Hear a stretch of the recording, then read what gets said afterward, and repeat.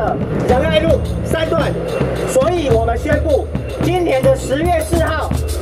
我们会重新号召万人夜宿仁爱路，希望各位努力的支持，谢谢。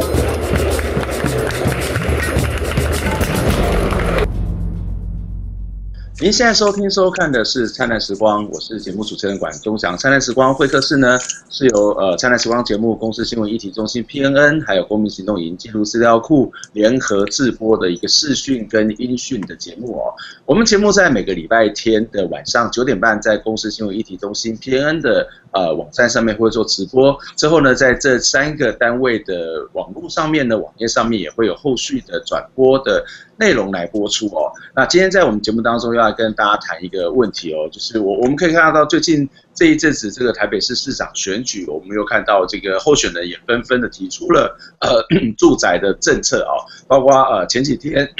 国民党籍的这个候选人连胜文提出说要迁走一兵。然后来盖这个社会住宅哦，可是就在这个住宅政策宣布的这个当下呢，其实我们又看到，呃，一个跟二十五年前所谓无壳瓜流运动非常有关、具有延续性的这个潮运又开了记者会，宣示呃这个潮运即将要展开哦。那到底发生了什么事情？在台湾的住宅、台湾的房价一直是非常多人所关心的一个议题哦。很多年轻人都抱怨买不到房子，甚至很多人他必须要终其一生，他可能才能够在台北市、在新北市买了小小的一平的、几平的这个土地哦。那我们今天节目当中呢，就要来跟大家邀请到的来宾是社会住宅推动联盟副召集人吕比仪，一起来跟我们聊这个话题。比仪你好，哎，关老师好，各位观众朋友大家好。呃，非常谢谢你来接受我们的访问哦。呃，我们刚刚在节目当中一开始也提到说，呃，这样的一次的潮运，这个运动其实跟二十五年前的无壳瓜联运动是有一些关联性的，是不是可以请你先带我们回顾一下二十五年前无壳瓜联运动到底是一个什么样背景，以及它当时到底发生了什么事情呢？嗯，当时的背景是这样，就是说台湾的房价在从那个一九八六年左右快速的。就飙涨到一九八八年、八九年，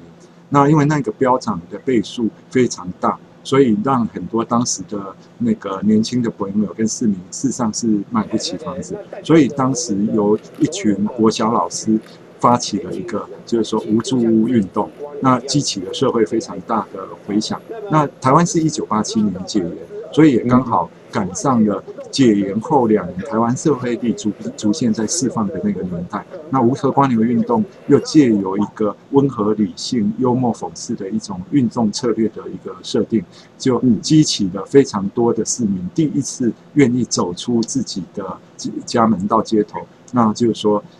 打破了当时就是说那个国家开始开放集会结社这样的一个权利，那就号召了。将近五万名的无壳瓜牛一起到那个街头，那那个是过去所没有的一个传统，也算是台湾社会运动第一个里程碑。这样，嗯，呃，当时其实这个画面场面是非常非常壮观的。我记得，呃，当时其实是有数万人夜宿在当时在台北市最贵的地方，最贵的地段忠孝东路哦。不过这一次这个数万人上街，那其实有在政治上面打破。刚呃，秉仪特别提到的是在呃突破了这种所谓的社运，或者是说它的人数，或者是一种大规模的群众运动的一种模式。那当然，我们也更期待，很多人更期待在当时是对整个台湾的房屋政策会造成影响。我不晓得在那一次这么大规模的集结之后，台湾的房屋政策、住宅政策或是土地政策有因此受到什么样的调整跟改变吗？哎，很可惜，其实没有。那我常在开玩笑，就是说，那个前二十年我们的那个乌克瓜牛运动或持续的推动，事实上是马马齿土长，直到了二零一零年。我们开始集结了很多社会团福利团体，推动社会住宅倡议之后，其实台湾的住宅政策才慢慢的有了一些改变，跟开始往前滚动。那我想，其实是跟国家机器的属性有关，因为在一九八九年跟一九九零年的初期的话，其实台湾的国的国家机器还是算是一个刚性的国家机器，即便已经将近五万人上街头，这么大的一个台湾有史以来最大的一个社会运动，但是它可可能那当时的中央政府是借由了一个全国土地问题会议这样的一个过程，就就把那个整个住宅的这样的能量就收掉了。那不像现在，就是说，如果能动员个数万民众上街头的话，事实上，无论中央政府或地方政府对这个议题就会非常紧张，或者是开始在做调整。这个是二十年、二十五年来的比较，其实是很不同的一个社会的一个脉络。这样。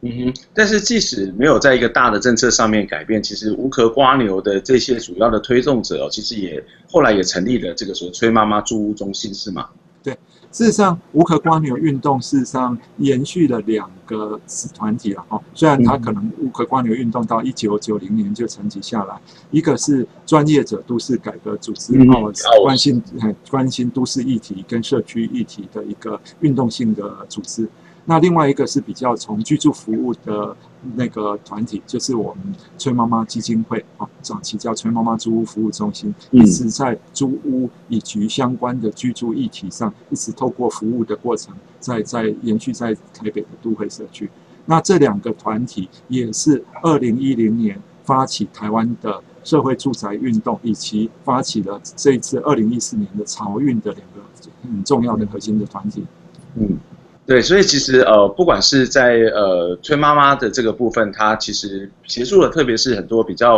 呃年轻人哦，其实在这个租屋上面，它包括了煤核，或者是让这个所谓的租屋的过程，其实相对之下是比较合理。那或我们我们看到奥尔斯在台湾最近这几年的一些土地政策，或是一些都更的议题上面，也都可以看得到他们的这个相关的身影哦。不过刚刚秉仪特别提到说，呃，当时的运动其实没有办法，呃，在整个政策上面有很大的改变，其实是跟这个国家机器的当时非常刚性是有很大的关系。不过我想提出另外一个观点，是不是其实也在这个一九八零年代的中期，台湾的国家机器，呃，它在政体上面虽然是刚性的，可是在它的整个政策上面，它开始走向一种所谓的自由市场。或者所谓的所谓一般叫做所谓新自由主义的这个所谓的政策的发展是有关系的吗？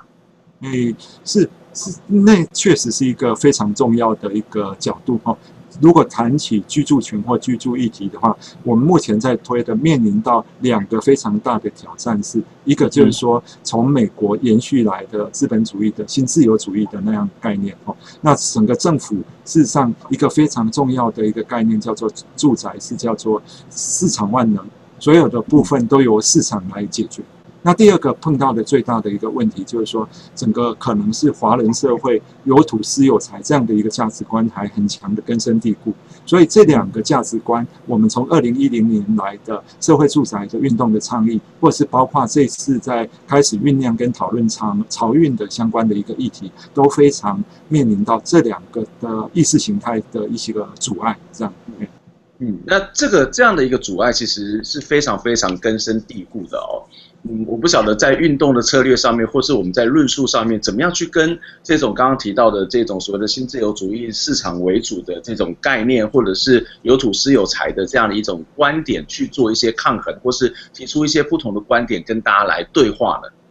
确实，这个部分要非常的努力，或者是就是说要非常的，就是说经由非常多的对话过程哦。那我以社会住宅来讲的话，或许我们就会跟就是说我们的民众或是对抗者，大概就是说用这样的方式来做一个讨论。那我会举健保的一个例子哦。那台湾的健保至少它就是说让大家有一个共识，就健康是一种基本的人权。所以你如果是没就是说没钱的弱势家庭的话，至少你可以去看那个属立医院，或者是住属立医院这种最基本的，因为我们觉得健康是人的一种基本的权利。那有钱人可能可以去做住私人医院或者是贵族医院这样。那同样的居住也是一种最基本的人权。那我们居住要保障的是你遮风避雨，就是说让你有一定品质的那个这的居住的权利。所以社会住宅。或者是怎样的一个租金补贴，配合租屋市场，再加上一些福利服务的协助的一个制度，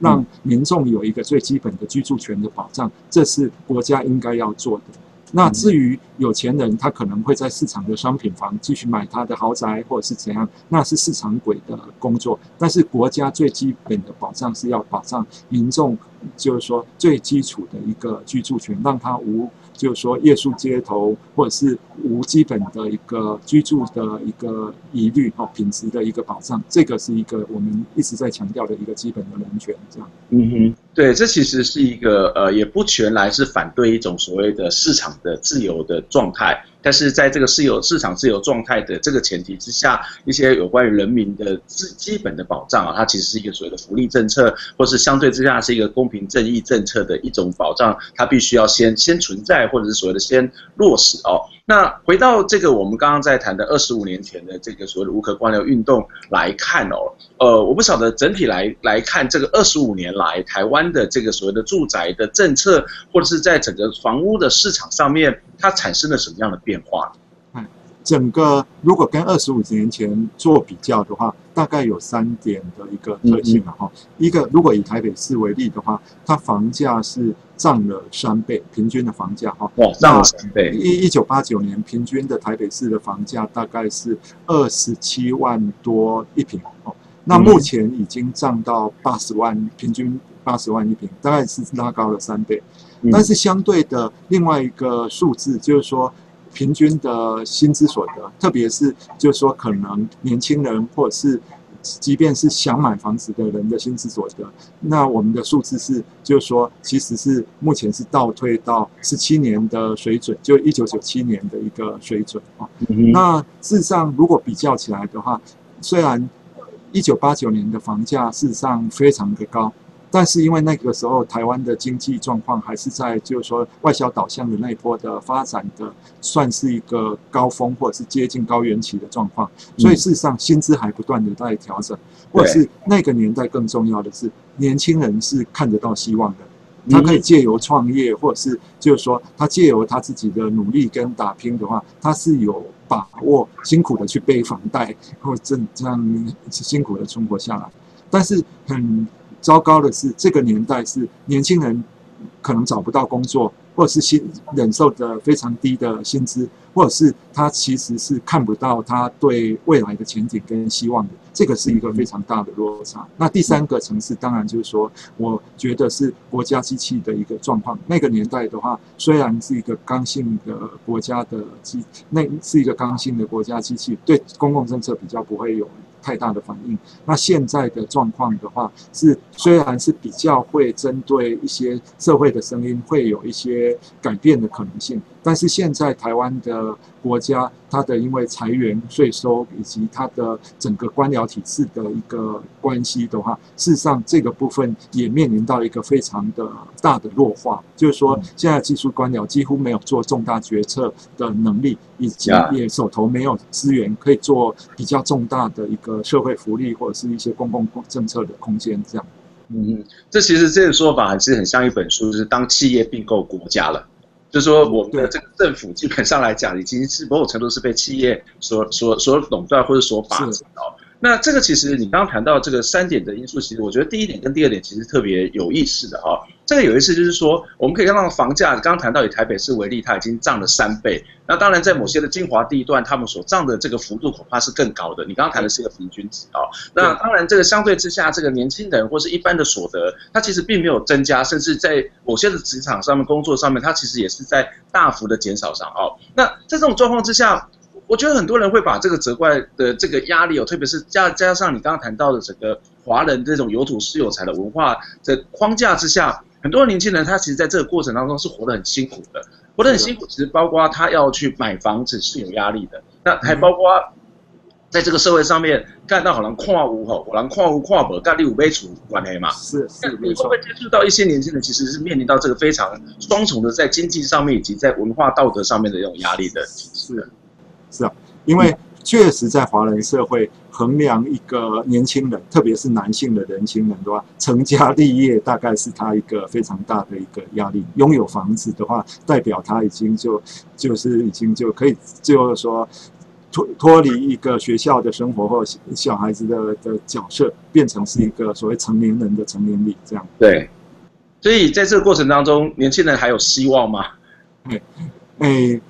或许这个部分确实要有价值观的改变了，哈。因为事实上也借由这一波的状况，我们也越来越感受到，至少我这二十年来明显的感受到，就是说以前确实是有土司有财哦。就是说，大家都想要拥有一个房子，那或许是现在年轻人也被迫，就是说绝望或者是怎样。我现在发现，就是说比较多的年轻人，越来比例越来越高，他们愿意选择考虑，就是说，好，我一生不一定要开始拥有房子，甚至我可以评估跟跟考虑，就是说，是不是让我可以长租，租得安心跟有品质，也一定有保障的住屋的过程。是我一个居住生活的一个选择，这个部分的比例，我我是明显感受到慢慢在攀升的。嗯，我觉得这其实蛮重要。一方面在政策上面怎么样有一些比较符合公平正义的这样的一个政策，另外一方面，其实在于所谓的观念上面哦，我们怎么样去做扭转或是做一些转化哦，就是不一定真的是要有自己的房子，而是说我们怎么样让这个所谓的呃大家有房子住，这是一个最基本的基点，但是不见得是自己拥有自己房子哦。那我我们待会再休息一下，会回过来请教我们的这个来宾哦。就是其实呃，刚刚谈到说，好像台湾的市场媒体这个所谓的呃市这个租屋的市场、房屋的市场，其实是越来越败坏。但是说实在的哦，每一任的这个所谓的不管是总统也好，或者是包括一些相关的这个局处首首首长哦，或内政部长，都提到打房的政策。那其实讲那么多，那打房政策到底是怎么打？那现在打房政策到底有没有效？那政府是？真的有诚心在做吗？还是他有心在做？可是就像刚刚提到，背后更大的这种压力，使得他没有办法去做。另外一个部分，我们要回到这次运动的诉求，草运他提出的所谓社会助财的政策或者相关的政策，我们该怎么推动？我们该怎么一起参与？我们先休息一下。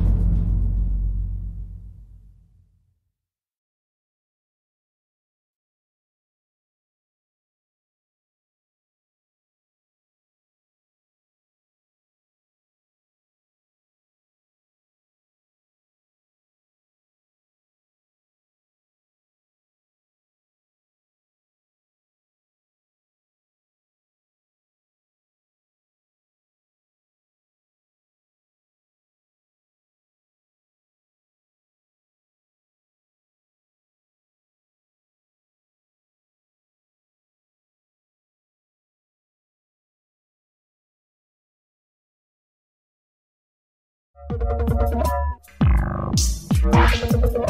you.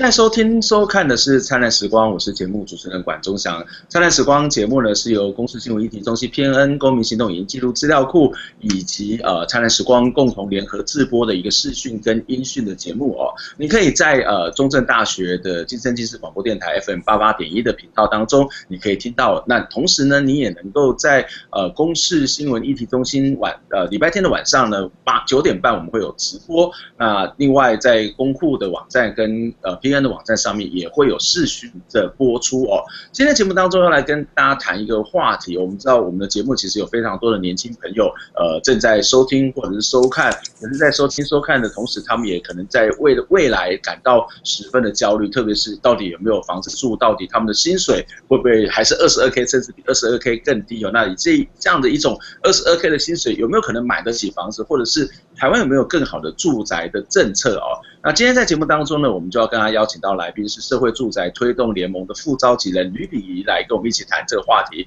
呃，炳仪你好，哎，各位听众朋友，大家好。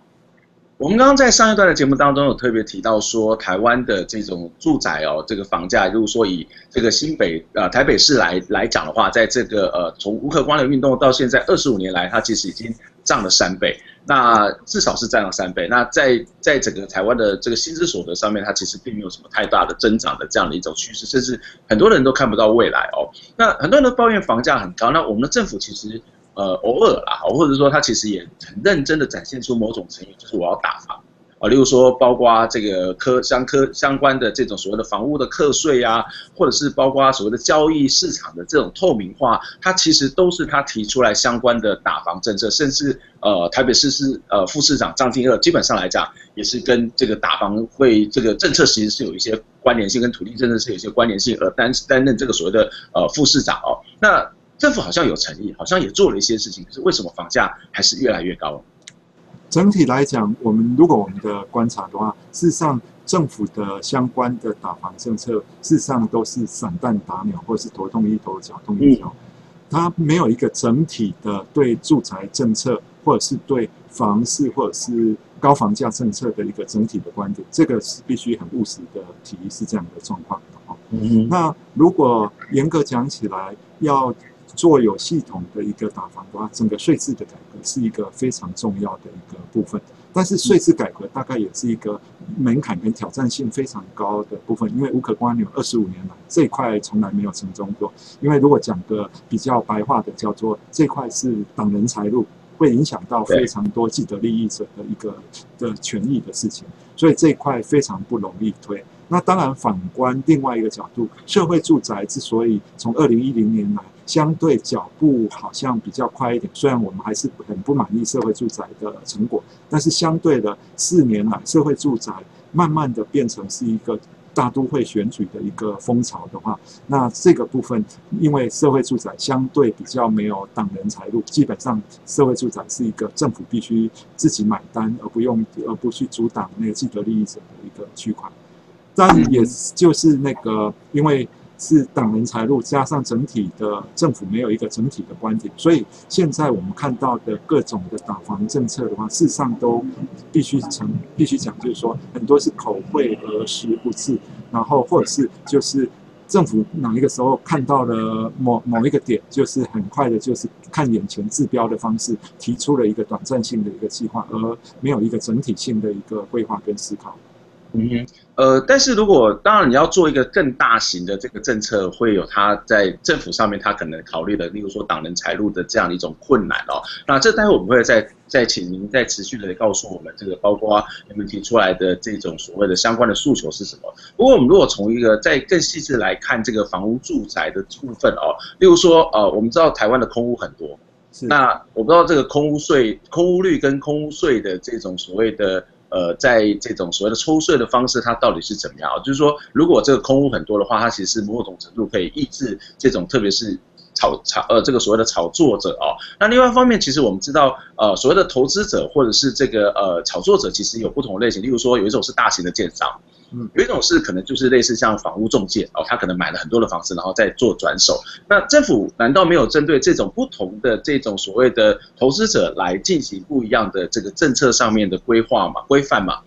嗯，也就是因为类似这样，就是说，如果空屋是从空屋税，然后如果是投资者投机者用奢侈类似奢侈税这样的部分，就是面临就是说就是散弹打鸟那个嗯或者是头痛医头的状况。因为如果是一个比较完整的税制改革、不动产税制改革的体系，在国外的话，基本上大概是两个体系的税，一个叫做持有税，就是房屋税跟地价税的一个持有的持有税。那另外一个是就是说交易的一个利得税，哦，包括土地增值税或者是房屋的那个就所得税这两个。那基本上如果是从国外的经验，税制把这两个部分调控好的话，基本上就能达到他那个关老师所提的，就是说一些整体的税制改革的效果。但是台湾从来没有从这两个税上去着手，因为必须承认，就是说台湾的整个税制的部分是非常的混乱，这就是说不动产税制的部分非常混乱，所以它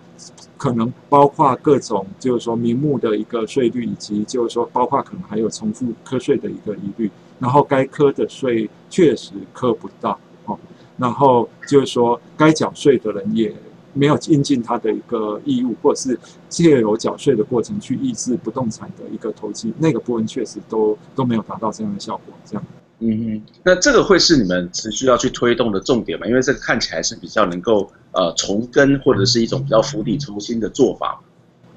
这个部分确实是我们长期要做的一个重点，而且也很务实的讲，今年二零一四的五都选六六六都七合一的九合一的选举的话，可能这一块还没有办法太大的一个着力，因为税制的改革毕竟比较多是中央的一个权限哦，所以我们今年是一个暖身工作，主战场会是在明年，因为面对的是总统选举跟立委选举，才有谈税的一个政策讨论的一个空间。那今年其实比较聚焦的，恐怕是地方政府的权限，就是社会住宅，或者是如何借由那个租金补贴，加上一些包租包管的一个服务性的配套，去运用租屋市场。这个大概是今年比较有谈的空间的议题。嗯，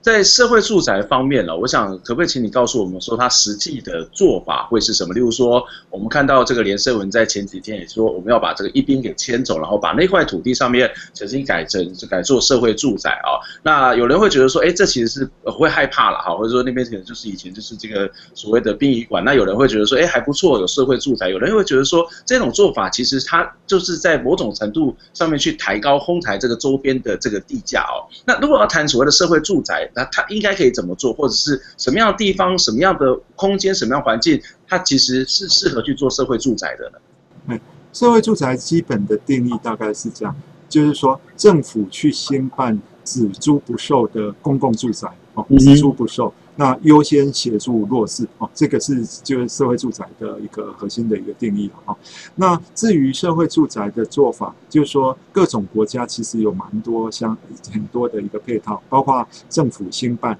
或者是包括可能运用民间的资源、民间的力量，或者是这个民间当然包括可能欧洲体系有包括 NGO 第三部门的力量，也有就是说像德国是比较运用就是说开发商的市场力量的比较接近出租住宅那样的一个方式的形式，或者是亚洲国家包括就是说可能韩国、新加坡、香港基本上是由国家或政府自己比较强力的去兴办的。所以，只要是多元的管道能增加这种只租不售的公共住宅的存量，也达到了以照顾弱势为优先的这样的一个目标的话，其实各种的做法都是一个可以考虑或者是可以鼓励的一个方式。嗯，所以就你们的这个所谓的策略上面，其实不管它是用上面刚刚讲的这三种方法，任何一种，其实只要能够达成目的，其实都都是 OK 的嘛。对，对。但是我们会强调一点哈，就以这这三四年来的一个实务经验，就是说它还有一点很重要，就是说它社会住宅的政策的公共性效果。那个部分也是我们非常关心跟强调的。那这这一点的话，或许举例就是说，前一前几年的话，有一个新北市的 BOT 的社会住宅那案子，或许可能驻盟跟新北市政府有一个非常密切的一个对话，或者是一个不同的意见。因为就是说，那个部分来讲的话，新北市政府把就是说中央核的三块的一个社会住宅，最后是就是说透过 BOT 的方式交由一个厂商，就是日生生去。执行，那我们对它的最大的一个意见跟批评是，就是说它一原先一千五百多户的那个社会住宅，到最后真正符合低于市场租金的只租不售的。公共出租住宅的话，最后只达到了两百户的公共出租住宅，那剩下的一千三百多户，不是因为，就因为新北市政府就是说，在当初的想法里面，朱市长不想，觉得不不用掏政府不用掏预算，然后也行政上不用不想给太多的支持跟协助，所以最后的话，一千三百多户建商只只开发商只好当成是一个商场。或者是市场租金的出租住宅，这样去取得它的财务的一个平衡，所以真正就是说达到社会住宅只租不售，而且低于市场租金的只有两百多户的效果，一千五百户对之于两百户左右的话，那个政政策的公共性的效果就太低了，这样。嗯嗯，这这其实是一个要特别去关注的一一个一个问题，或是一个面向，就是也许会有一些建商他假借社会住宅之名，或是他跟政府有某种的默契哦，使得其实这个社会住宅其实它真正的公共性或者社会性的比例是很低的，反而是变成它另外一种炒楼或是土土地取得的这样一种策略跟方法，这恐怕都是我们在推动社会住宅的时候都得要去特别关照的哦。我这边小小的补充，就是说，因为社会住宅有一个属性是大家必须。去注意到跟抓到，就是说，社会住宅基本上是一个社会福利取向或性质还蛮强烈的一个住宅政策哦。所以，因为社会福利取向还蛮重的一个政策的话，基本上它没有太多利润可以赚哦。那这个是一个基本前提，它不像是高铁。不像是高速公路的 e-tag 那种都有利可图，所以开发开发商或财团自己就会自己经营，你还可以收那个权利金回来，政府还可以收权利金。那社会住宅基本上，因为它以协助弱势为主，它基本上没办法太大的赚钱，所以政府不能有一个心态，就是说啊，我借由 BOT 包给民间厂商，还想收那个权益金，或者是只要给民间厂商去经营，我就不用管，就三十年五十年就给厂商去经营，这个。天下没有那么好的事情，政府必须有一个正确的心态，就是说，社会住宅我出去的话，一定程度，因为它大概财务上没有那么容易自偿，所以我是每年还是得编一定比例的一个预算下去协助跟支持。那第二个就是说，我在这个过程行政的必要的协助，特别对针对弱势家庭的话，有些福利服务的输送，或者是帮助他们解决各种的纠纷问题的排除，这个。部分还是责无旁贷，否则开发商不会帮你去解决那一块。这个也是目前我们在讨论社会住宅这几年一个非常重要的一个观念的迷失，也回应到刚管老师讲的，就是说新自由主义的那样的一个那个价值观的话，基本上觉得市场万能全部能解决，但是社会住宅这一块不是完全市场万能所能解决的。嗯，你们还有一个很重要的一个诉求，其实就是所谓的呃提高。这种所谓扩大了这个所谓的租屋市场哦，这个怎么样鼓励大家这个去让这个所谓的目前的空屋或者是这个租屋市场，就是说我们不需要去自己买房子，而能够透过这种方法让真落实到某种真正的落呃所谓住者有其屋的做法呢？这一块确实会比较大的一个挑战跟难的哈。理应如果我们看国外的经验，就是说租屋市场或者是租屋事实上是购屋以外。的居住权的一个替代性的一个方案，或者是所谓居住的社会安全网的一个很重要的另外一块的补强的一个社会安全办。但是台湾的租屋市场，我们担心目前的状况可能没办法达到这样的效果。那或许我用这个，这样看得到吗？可以，嗯，就这个图来来稍微显示，我放下对好。事实上，这是台湾目前整个住宅的一个结构。百分之八十五的资源跟筹码都集中在购物的市场，那住社会住宅就是所谓公共住宅，万分之八超低的一个水准哦。那台湾的租屋市场只占了百分之十点九，而且这个租屋市场非常多的问题，品质纠纷或者是一些是那种短租不稳定的问题。那如果一个比较好的一个国外的案例的话，我们从国外的经验，其实一个比较均衡的结构是这样哦，购物市场大概五到六成，他们有一个二到三成的出租市场，跟百分之五到百分之二十不等的公共住宅。这样是一个比较均衡的结构，这两个都是出租住宅哈，一个是公办的，一个是民间市场的力量。那也是要有这样的一个结构，事实上我们才能谈，就是说如何借由租屋市场来作为居住的另外一个安全办，或者是社会的一个，就是说缓冲。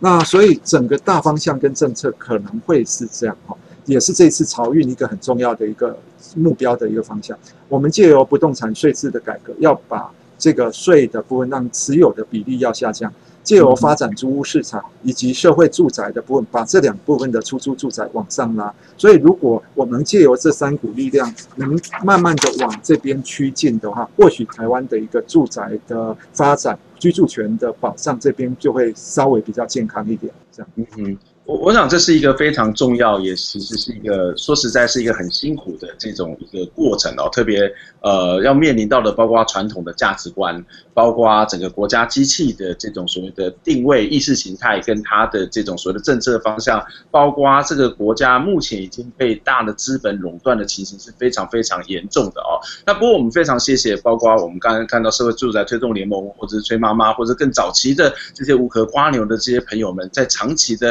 呃。推动台湾的住宅政策，让它更符合一种公平正义的一些，我只能够讲是一个基本的原则啦。哈，这是一个非常非常的一个所谓的居住正义，或者是不要讲现在就是讲说住者有其屋的一个基本的概念哦。那最后我要请教我们的呃比喻，就是呃最后我们在这一之起码在这一年呃我们这个整个推动上面会有什么样的一种行动跟策略？我们的听众朋友跟观众朋友可以一起来参与的。哎，对，就是观众朋友，我们非常诚挚的邀请您，十月四号，如果您有办法到台北的话，就十月四号一起参加我们的行动，夜宿仁爱路啊。那借由大家的力量，因为国国家机器的属性已经在调整，只要大家愿意站出来，都是我们一股非常重要的一个行动的力量。我们相信，我们在对政府要求更多的居住权的改革的公共政策的话，我们会有更多的筹码跟更多的可能性，可以帮大家争取到好的住宅政策跟有保障的一个居住权的权益。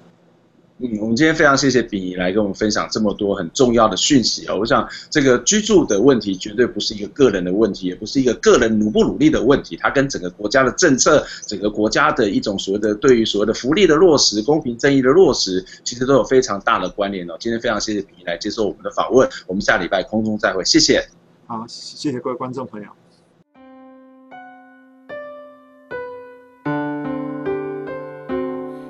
空的眼泪洗过了时间还来不及发现藏在手中的幸福消失不见。心中的黑暗掩盖了希望忘记要相信生命的动